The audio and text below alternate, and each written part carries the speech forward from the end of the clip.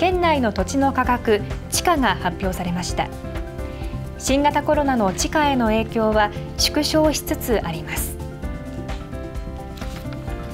今年7月1日時点の県内610地点の地価は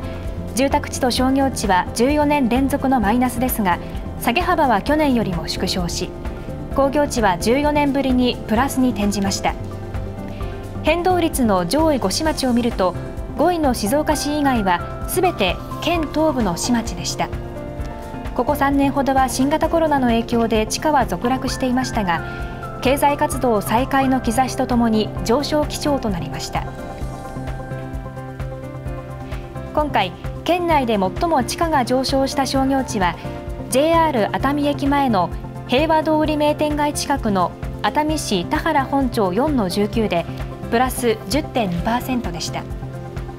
熱海市中心部に首都圏の観光客が多く戻ってきていることが地価上昇の大きな要因となりました。